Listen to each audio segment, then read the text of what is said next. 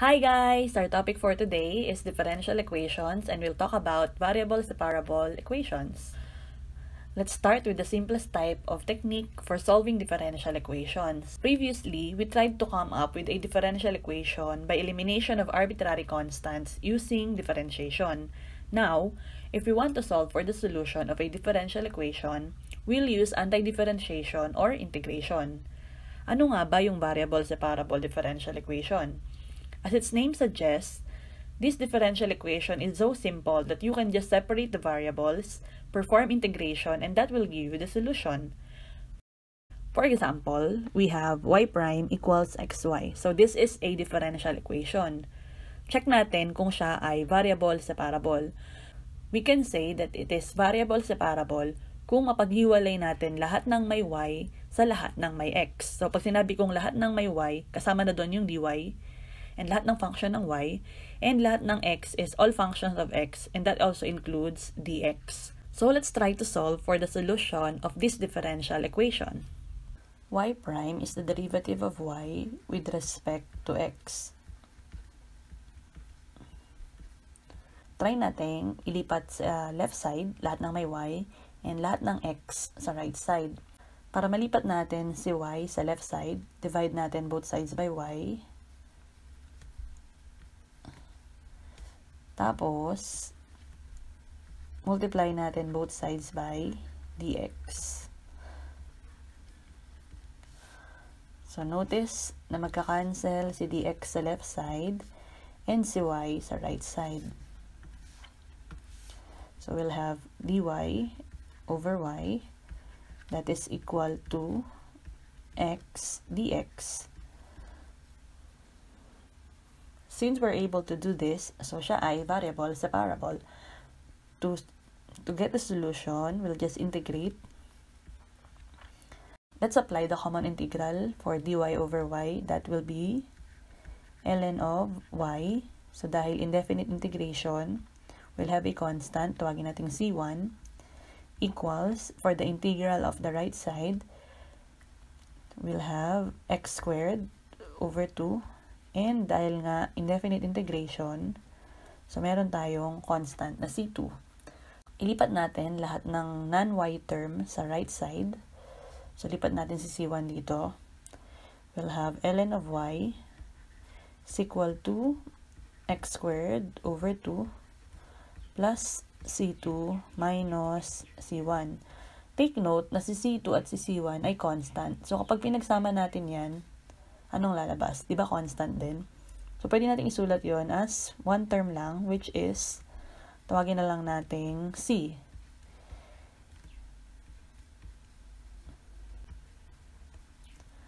If we want to get y in terms of x, paano natin matatanggal yung ln dito? So, recall, e of ln of, let's say, any variable that is equal to a.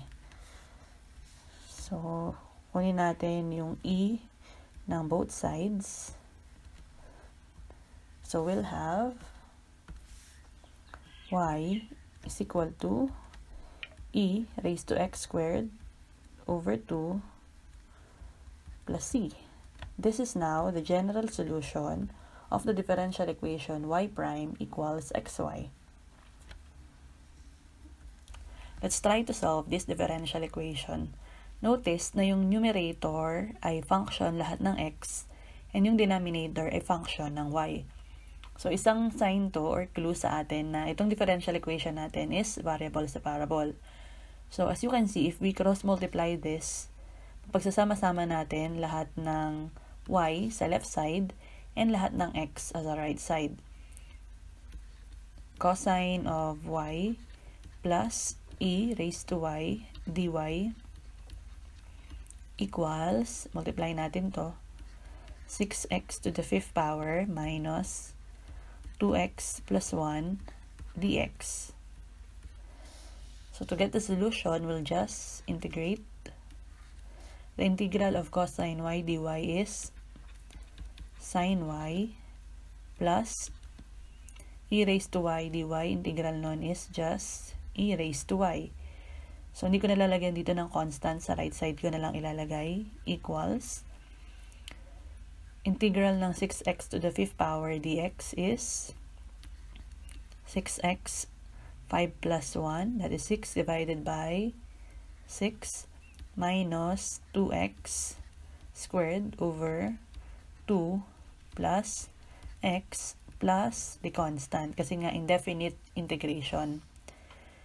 So, simplify lang natin yung right side and we'll have sine y plus e raised to y equals x to the 6 minus x squared plus x plus c. So this is now the general solution of this differential equation.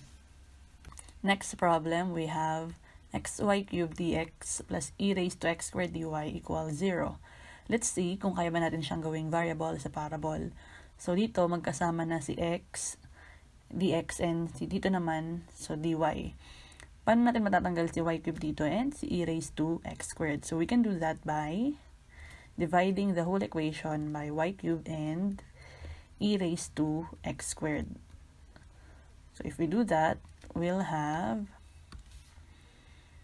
x dx all over e raised to x squared plus dy over y cubed equals 0.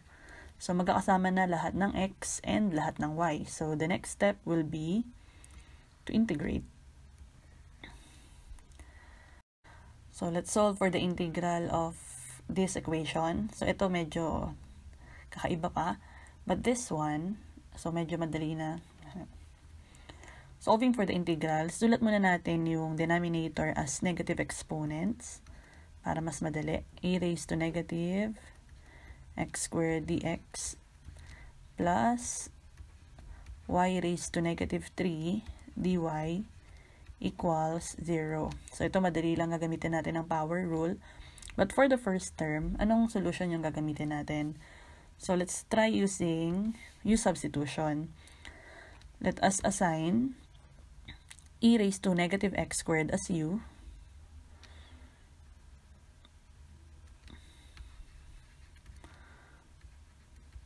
Then let's take the derivative of this equation. So du is equal to negative 2x e raised to negative x squared dx. So notice na itong term na to is also this term. So if we solve for that by dividing the whole equation by negative 2, we can get, so du over negative 2 is equal to x e raised to negative x squared dx. Ipalit natin yung buo na to for x e raised to negative x squared dx. So we'll have the integral of du over negative 2 plus the integral of y raised to negative 3 dy equals 0. So the integral of du over negative 2 is just negative 1 half times the integral of du, that is u, plus integral of y raised to negative 3 over dy. So y raised to negative 3 plus 1, negative 2 divided by negative 2. So, dahil indefinite integral to, kailangan ng constant equals 0. So, u is equal to e raised to negative x squared. So, negative e raised to negative x squared over 2 minus y raised to negative 2 over 2 plus c equals 0. Sulat natin to with positive exponents. So, negative 1 over 2 e raised to x squared minus 1 over 2 y squared plus So, itong constant natin, i-divide na natin by 2 since yung dalawang unang term natin is merong denominator na 2. So, question, okay lang ba yun? Okay lang yon kasi as much as possible, yung constant natin, sinusulat natin siya as C lang or a constant. So, constant divided by 2, that is still a constant. So, walang problema. And usually, kapag nasusulat din tayo ng final answers, uh, wala yung denominator. So, to simplify this, let's multiply the whole equation by the denominators.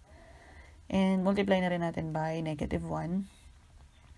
Negative 2 e raised to x squared y squared. Multiplying this whole equation by this factor, we'll get y squared plus e raised to x squared minus, so positive times negative minus, pero dahil constant lang din naman yon so okay lang isulat as positive, c e raised to x squared times y squared equals 0. So this is now the solution of this differential equation. Let's try solving a differential equation na yung variable naman niya ay hindi na x and y. So we have dr equals b times quantity cosine theta dr plus r sine theta d theta. Pwede yung unang tanong dito, lo, bakit tatlo na yung variable? So ang titingnan niyo lang lagi pag ganyan para hindi kayo malito is kung ano ba yung naka-differentiate. So for this we have dr, so meaning derivative ng r, And we, here, we have d theta. So, derivative ng theta. Meaning, yung variables natin for this problem is just theta and r. And that also means na si b ay constant. Let's start by distributing b dito sa right side. We'll have dr equals b cosine theta dr plus br sine theta d theta. Pagsamasamahin natin lahat ng derivative ng r sa isang side, we'll have here dr minus b cosine theta dr equals br sine theta d theta. Factor out natin si dr and we'll have here 1 minus b cosine theta quantity dr equals BR sine theta d theta. So, sa left side, doon natin ilagay lahat ng function ng r, and sa right side, lahat ng function ng theta. So, to do that, we'll divide the whole equation by r and 1 minus b cosine theta.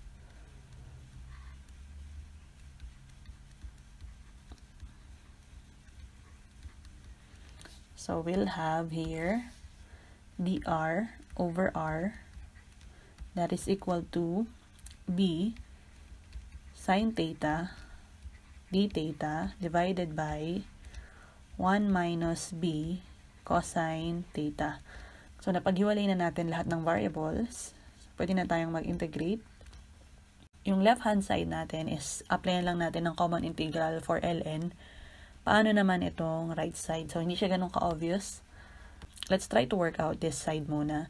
Let us write the denominator as u. Then, differentiate natin. The derivative of u is du. Derivative ng right side is 0. So, negative derivative ng cosine theta is positive b sine theta d theta. So, therefore, du is equal to b sine theta d theta. Notice, itong right side natin, that is the numerator. So, pwede natin palitan yan ng du. Now, we'll have the integral of dr over r that is equal now to integral of du over u. So, madali nang i-integrate. The integral of dr over r, that is ln of r, equals integral of du over u, that is ln of u. So, dahil yung first two terms natin is under or inside ln, yung constant natin, lagay na rin natin inside ln. Okay lang ba yun? Okay lang yun. Kasi ito, pag kinuha natin ang ln or natural logarithm ng isang constant, constant pa din yun. Then, palit natin for u, yung kaninang 1 minus b cosine theta. And by properties of logarithm, Pag may sum tayo dito, pwede natin silang isulat as a product. So, ln of c multiplied by 1 minus b cosine theta. That is our u. So, para mas simple pa yung ating final answer, let us all raise this by e para matanggal yung ln. So, we'll have r that is equal to c times 1 minus b cosine theta. So, this is now the solution of this differential equation.